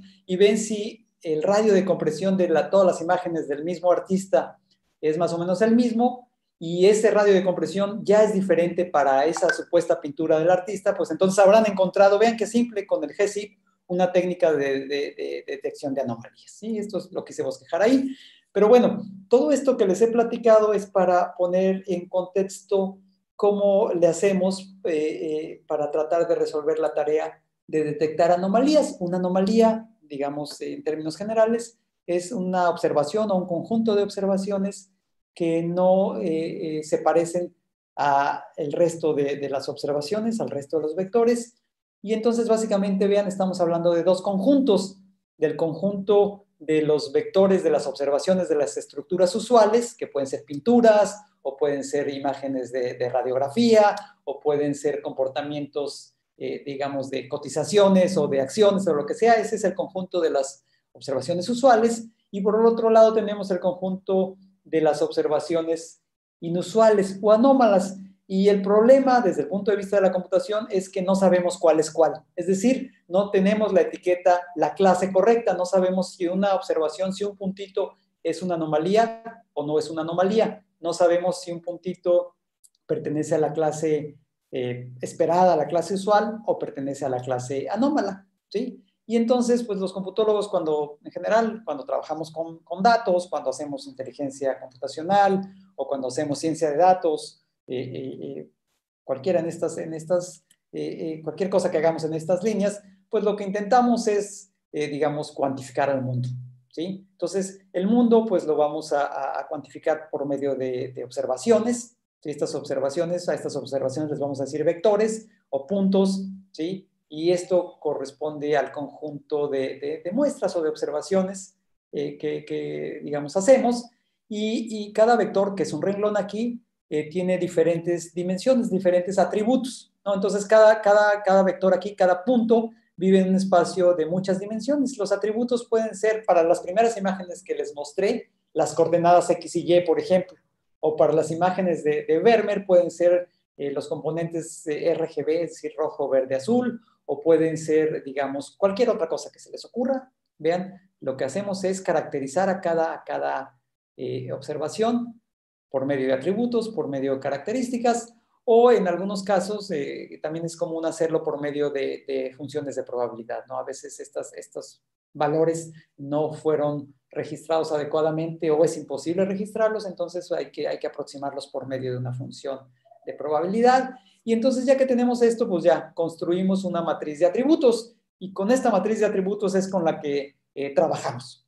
Esta matriz de atributos pues contiene renglones y columnas. En cada renglón tenemos una observación, ¿sí? Eh, y esa observación puede ser del fenómeno que nos interese, esa, esa, esa eh, observación puede ser una imagen del telescopio Kepler, como les voy a mostrar ahorita un poco más adelante, o puede ser una imagen eh, de, pulmones, también les voy a enseñar un poco más adelante, o puede ser, digamos, el compendio o la caracterización de una obra literaria, o puede ser lo que sea que estemos estudiando, ¿sí? Y entonces lo que tenemos en la derecha a través es eh, la etiqueta, la clase que quisiéramos asignarle a esa observación, si es una anomalía o si es algo usual. Eso es básicamente eh, el, problema desde la computación de la detección de anomalías. ¿sabes? Y entonces, bueno, ya que tenemos esa matriz de distancias, podemos aplicar muchas, muchas eh, técnicas que, en ciencias de datos se, se, tienen. No voy a entrar en detalle de esto, pero bueno, hay una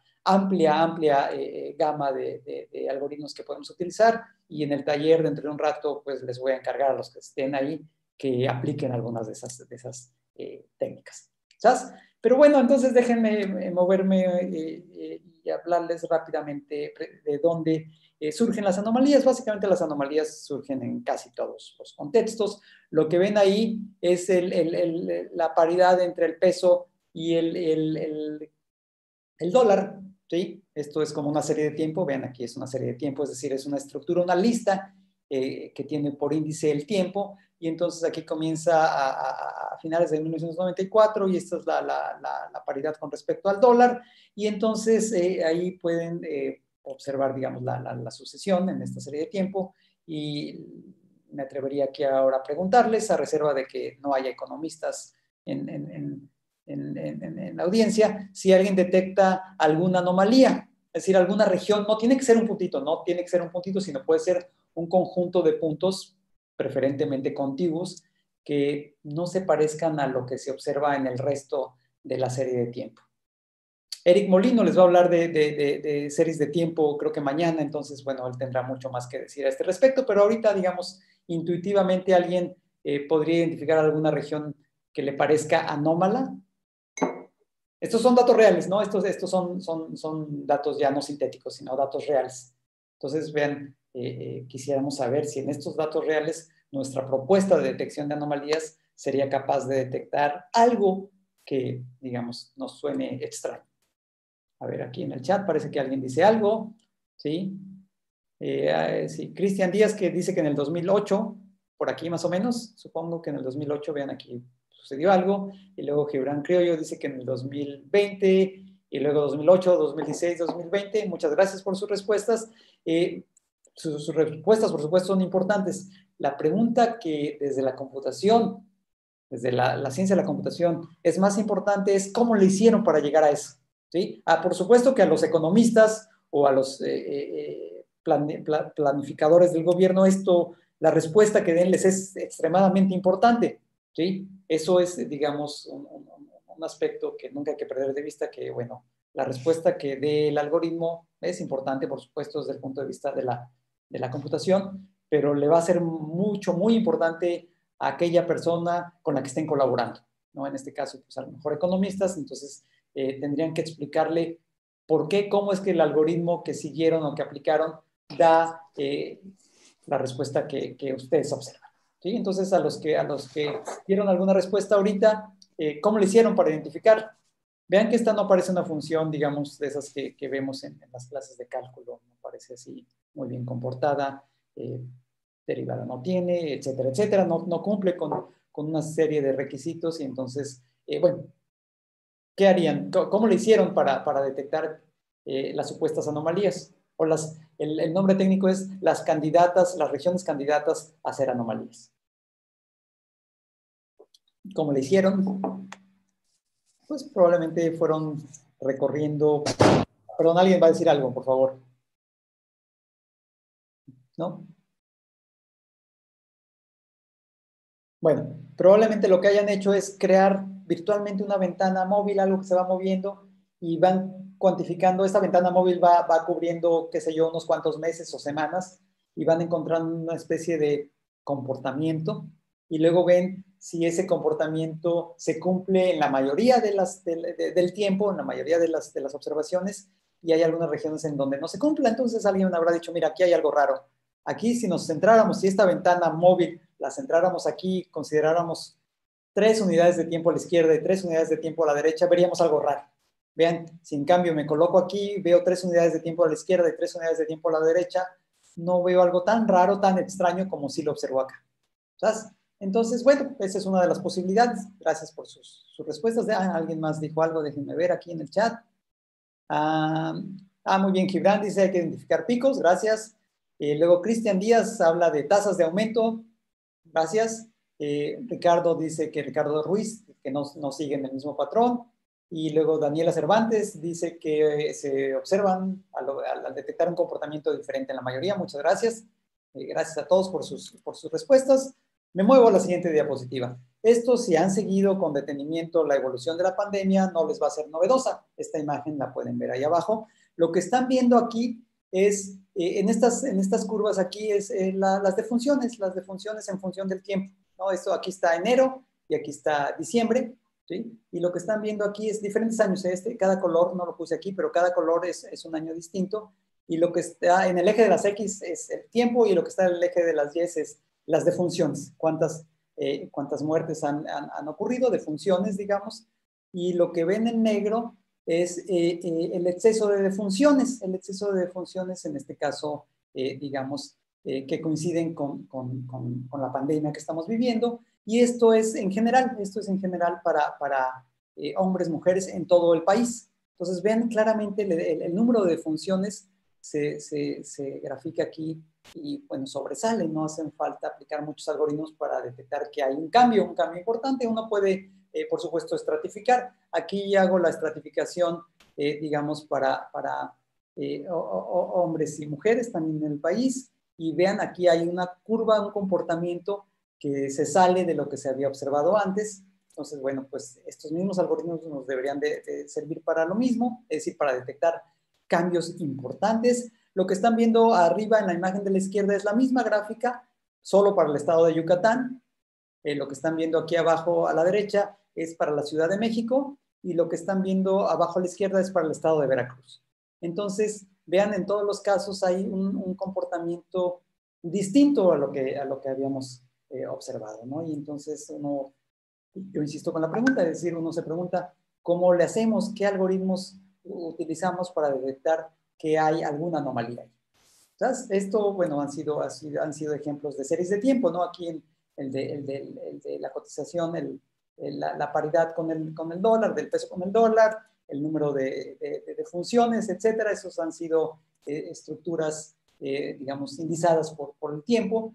y ahora esto que ven aquí es, es también un, un, análisis muy bonito.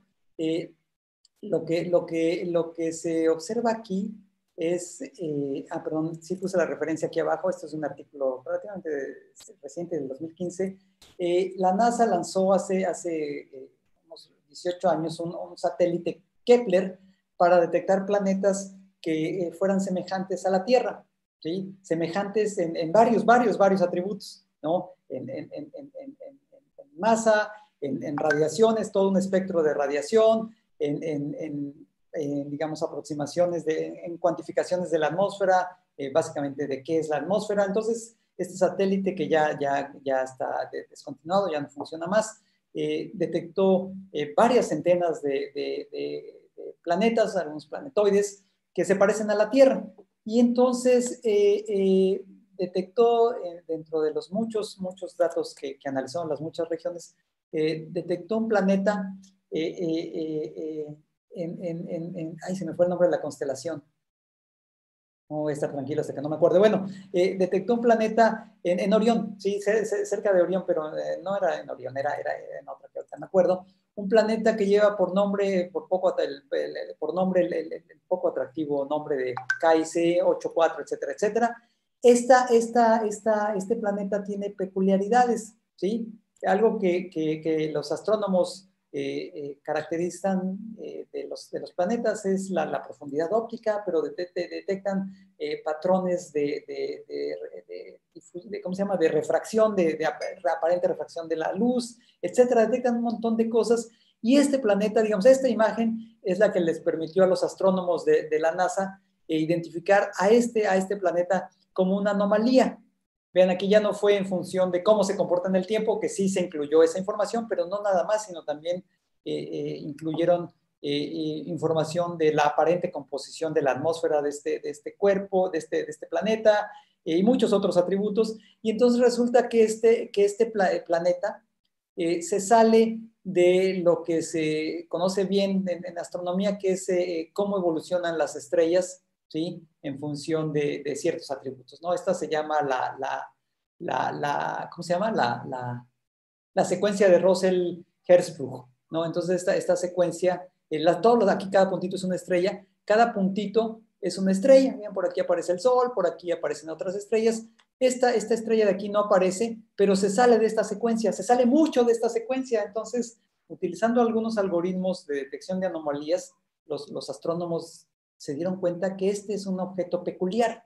¿Por qué? Porque eh, emite luz como si fuera una estrella muy joven y en realidad es una, eh, digo, eh, refleja luz como si fuera, perdonen, les, dije todo esto mal, esto es una estrella, esto es una, una estrella, ¿no? Y en realidad esta estrella se, se, se, detectó como efecto lateral de la detección de planetas. Sí, sí, pero disculpen ustedes, el último minuto, todo el tiempo quería yo decir una estrella. ¿Sí? este, este, este objeto es una estrella. Esta, esta estrella eh, se, se, comporta de forma anómala, ¿no? Su, su, edad no corresponde a lo que uno cabría esperar dentro de, de, esta imagen, ¿no? Y entonces lo, lo, interesante aquí es que saltó, saltó como, como un punto anómalo, ¿sabes? Entonces, déjenme muevo a otro ejemplo que también a mí me parece eh, bonito y además es uno de los primeros que yo conozco eh, de detección de anomalías. ¿Se acuerdan que hace rato les presenté este, este, este cuadrito aquí?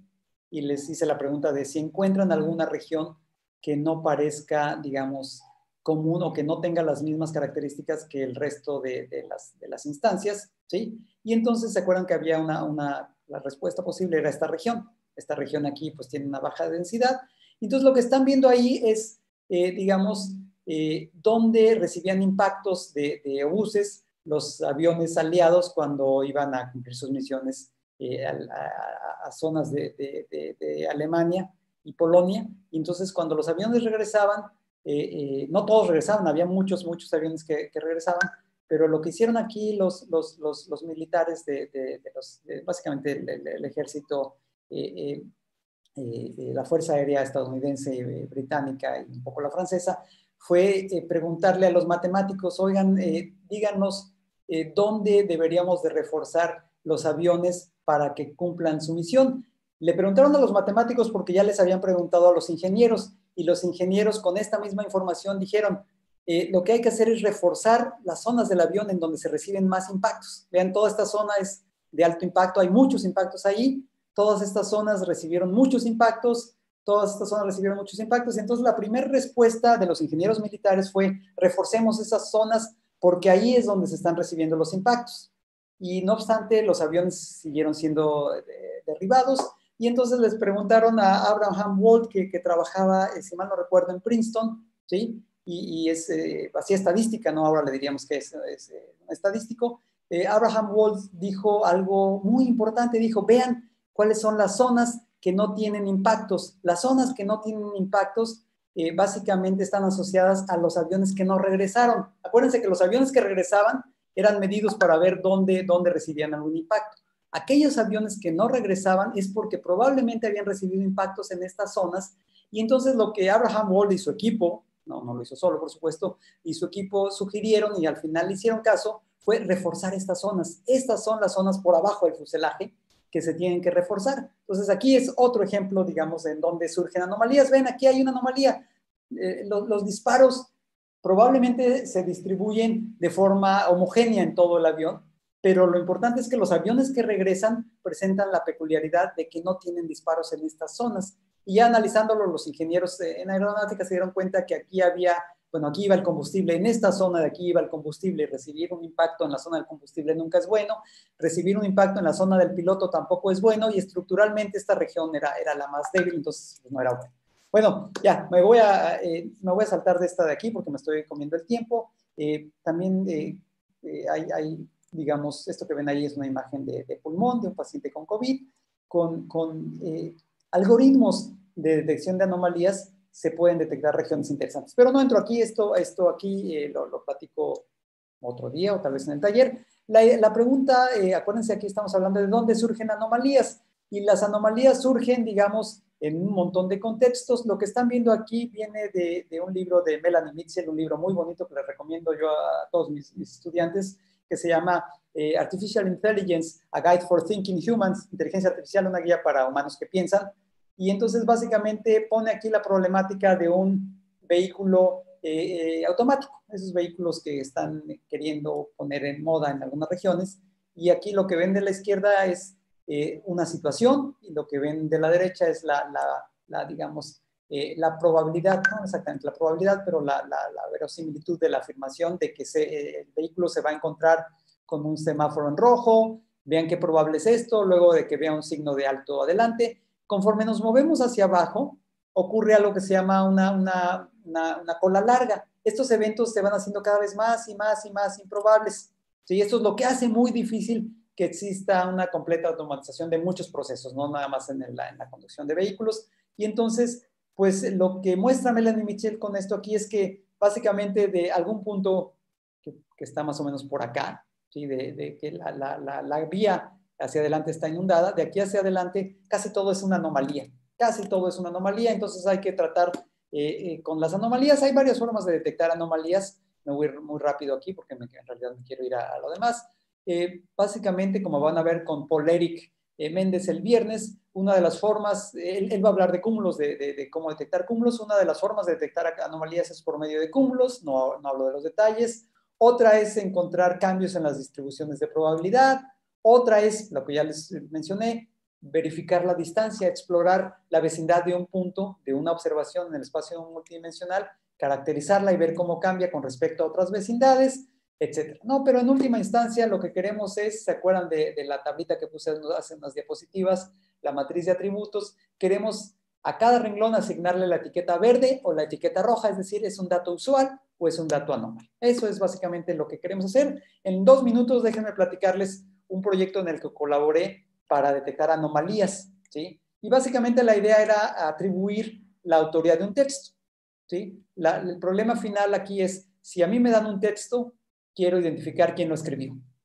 A eso se llama la, identificación de la autoría, entonces uno supone que, uno es experto en un determinado autor, entonces si yo les diera a leer esta, esta, este texto, eh, lo leerían y después supongan ustedes que son expertos en Julio Cortázar, en Paco Ignacio Taibo II y en Jorge Luis Borges, y después de unos segundos de, analizar esto dirían, no, sin duda esto es Borges. Y sí, dirían, eh, si nunca habían leído este texto, identifican a, Borges como el autor, lo que están haciendo ahí es atribuirle la autoría a Borges y lo habrán hecho de forma correcta. ¿sí? Entonces, al final lo que queremos es extraer atributos de textos de, autores, de muchos textos de diversos autores y encontrar algo que nos permita clasificar. ¿sí? Y entonces esto fue un proyecto que, luego les paso la referencia. Hicimos algo, lo que queríamos era identificar básicamente estilos de escritura. ¿no? Eh, eh, fue no nada más eh, algo que, se considera como un bag of words, como una bolsa de, palabras, sino fue todo un esquema que no les platico, pero al final eh, pasaron cosas interesantes en ese proyecto. una de las, escritoras que analizamos fue Iris Murdoch, que ven aquí, y, lo que observan aquí es la lista de sus novelas. Iris Murdoch fue una escritora eh, británica y, bueno, tuvo muchas novelas, muchas de, estas novelas aclamadas, pero resulta que eh, eh, cuando las analizamos para tratar de identificar eh, su estilo, sufríamos bastante, sufríamos mucho con una de sus novelas, con el dilema de Jackson. Esta, este dilema de Jackson, vean, lo escribió, acá está en el año, fue la última novela que escribió. Y entonces no les platico ahorita los detalles, pero esta novela no la podíamos clasificar. La red neuronal que intentaba clasificar a esta novela como perteneciente a, Iris Murdoch, no podía y no podía, y por más que hacíamos, y, bueno, ya los que saben, los que no lo saben y lo vayan a aprender, se acordarán que, o, sabrán que cuando trabajan con redes neuronales, buena parte de lo que uno hace es, cambiar eh, parámetros y, metaparámetros, etcétera. Y por más que hacíamos de eso, la, novela Jackson Dilema, el dilema de Jackson, eh, eh, nunca la pudo clasificar adecuadamente esta, esta, ninguna red neuronal ni ningún clasificador. Y básicamente lo que hicimos después fue que eh, aplicamos técnicas de detección de anomalía. Lo que están viendo aquí es una, una eh, aproximación al estilo de, escritura de, de, Iris Murdoch, de acuerdo a ciertas restricciones. Y básicamente lo que ven aquí es que esta novela en rojo, El, dilema de Jackson, Jackson's Lima, fue la última que escribió y entonces... Oye, eh, pregunta, este, Ricardo, ¿qué representan los ejes en la gráfica anterior? no, no, no son, no, no, no tienen unidades. No son importantes. Sí, sí, no, eh, son importantes, pero lo que representa es un compendio de miles de atributos. Ok, básicamente. gracias. Y, y, entonces, como en este proyecto estábamos trabajando con, con, con colegas, esto, eh, con colegas que, que, son creadores literarios, ¿no? Hay una, una licenciatura en creación literaria eh, una de las colegas, eh, eh, Teresa Day, apuntó hacia un hecho por demás muy importante que básicamente nos valió esa publicación en aquel momento. a Iris Murdoch la diagnosticaron con Alzheimer en 1994. ¿sí? Y entonces vean lo que ocurrió aquí. En 1995, ya con Alzheimer diagnosticado, publicó su novela, le llevó un tiempo, por supuesto, pero publicó esta novela en 1995 y lo que, lo que hicimos en la imagen que ya les mostré y en este de aquí fue eh, tratar de, encontrar algo eh, que nos dijera eh, qué tan anómala era esa novela y vean aquí lo que se muestra en rojo, entre más rojo aquí es, la novela, es más anómalo es con respecto a las novelas de, la misma autora. Esta, este, este dilema de Jackson resulta que es una anomalía. Y básicamente con, cualquier, con cualquiera de las herramientas de detección de anomalía que, que utilizamos, eh, la novela del dilema de Jackson de Iris Murdoch resultó ser una anomalía y, fue muy interesante porque vean, uno escribe, eh, digamos, la escritura, por supuesto, es un, es un indicio de, capacidades de inteligencia, sin duda, ¿sí? Y, lo hacemos, por supuesto, con el cerebro, pero cuando hay un trastorno como el de Alzheimer, algo pasa, algo pasa a nivel estructural, algo se afecta y, hay una afectación fuerte. Y entonces eh, lo, que, lo que ocurrió con, con, con Iris Murdoch es básicamente un cambio de estilo que surge como una anomalía. Bueno, ya, eh, básicamente, eh, pues hablé de generalidades, no da para hablar de mucho. Déjenme platicarles que eh, estos proyectos y uno del que estamos arrancando, bueno, ya arrancó hace un rato, pero que ahora lo estamos haciendo con, con más dedicación, pues no puede ser posible sin los estudiantes. aquí hay tres de los estudiantes de Merly Estrella, no, no, no me mando foto, ella es eh, estudiante de Ingeniería en Sistemas Computacionales del Tecnológico de Carrillo Puerto, el Instituto Tecnológico de Carrillo Puerto. Luis Fernando eh, Cardeña es, estudiante de Ingeniería Biomédica del TEC aquí en Mérida. Sergio Iván Mota Pantoja es estudiante, está haciendo tesis conmigo en detección de anomalías en el posgrado de Ciencia e Ingeniería de la Computación de la UNAM. Y bueno, pues eh, estos son algunos de los colegas, de hecho los colegas que, colaboran en, este proyecto, proyecto de detección de anomalías, varios colegas de Limas, Víctor Lomas, Nidia Regia Montiel, Eric Molino, de, de, la Escuela Nacional de Ciencias Biológicas del Laboratorio de Inmunoregulación Javier Sánchez, Carsten Karlberg del Instituto de Biomedicina de la Universidad del Este de Finlandia, Gandhi Samuel Hernández del Centro Geo, y bueno, todos ellos, muchas gracias, son, eh, eh, algunos colaboradores recientes, otros ya de más largo eh, tiempo. Y entonces, bueno, vaya el anuncio que les dije que, haría al final. hay un proyecto que es básicamente detección de anomalías en contextos biomédicos, un, proyecto que está financiado por la UNAM, por PAPIT, y ahí tenemos posibilidad de, becas, de, de, beca de tesis para estudiantes de licenciatura y posgrado, y entonces eh, dicho lo cual, eh, concluyo diciendo que, eh, bueno, agradeciéndoles, diciendo que las anomalías son muy importantes porque nos indican que algo está funcionando de manera diferente, no necesariamente mal, no necesariamente bien, pero es importante trabajar, identificar anomalías porque nos hablan de un cambio, que está ocurriendo un cambio en lo que sea que estemos estudiando y ya, justo a tiempo, acabé a las 11 y 20. Muchas gracias. Muchas gracias por tu plática, Toño, estuvo muy interesante. Este, tengo por aquí varias preguntas, déjame abrirlas. Este, no, en el chat no. Si alguien tiene preguntas aquí en el chat, este, escríbanlas si quieren o las pueden decir también con toda confianza. Este, aquí hay una pregunta que viene de, del Facebook. ¿El análisis de missing value podría servir de algo en la detección de anomalías? cuando habla sobre el caso del avión, ¿podría ser esto un caso de missing completely at random? Eh, gracias, gracias por la pregunta. Sí, eh, Jesús Alberto, perdón. ¿Perdón? No, nada más decía el autor de la pregunta, Jesús Alberto Urrutia. Ah, gracias, gracias Jesús. Sí, lo, podrías ver de esa forma. En, última instancia, pues lo podrías ver como, como, como eh, ¿cómo se llama? La imputación de valores faltantes. Sí, sí, missing, Value Imputation, perdón, y lo puedes ver desde, muchas perspectivas. Sí, una de ellas es la que les mostré. Gracias, gracias por la pregunta. ¿Alguna otra pregunta? Hay, hay un proyecto por ahí que tienen en, en Inglaterra de identificación de autoría de, de, música clásica. Ahorita que hablaba sobre literatura me acordé, parece que hay un montón de, de, este, de, de composiciones que están, este, pues que no tienen autor. Y este, y bueno, esto puede ser, bueno, se relaciona mucho con, con, con esto, ¿no? De, hecho, creo que hay, gente que luego que trabaja en, identificación de autores en literatura que de repente este, pues se pasa a obras musicales. No sé si, si sea como más complicado o más... Sí, sí, sí, eso, gracias, Yuri. Sí, eso, eso, es posible. Yo no he trabajado con música, pero, pero por ejemplo, en el IMAS, eh, eh, eh, Elena, Elena Gómez Adorno, ella trabaja eh, eh, muy intensamente con, con, atribución de autoría, con otras, otras estrategias diferentes a las que yo utilizo, pero eh, en cuanto a música, hay, hay, también muchos, muchos trabajos muy interesantes. Hay un grupo en la Universidad Estatal de Campiñas, en Brasil, que hace cosas padrísimas. No, no sé este del, del que hablas yo en Inglaterra, pero sí, digamos, como yo no trabajo en música, no, no sé más, pero sí, sí es. en principio los algoritmos eh, eh, son genéricos, los algoritmos de detección de anomalías son genéricos y se pueden utilizar en, cualquier contexto. Por supuesto que hay algoritmos que son eh, más recomendables en ciertos, en ciertos contextos que en otros, por supuesto. gracias, gracias, Yuri. ¿Alguna otra pregunta por aquí?